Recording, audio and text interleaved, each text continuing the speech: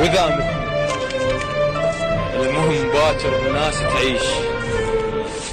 وطن المهم باكر ينعدل وضعه وذا ما حد سمعنا إيش رايدين اليوم. التاريخ باكر صوتنا يسمع. آنا وربع ندري نموت مقتولين.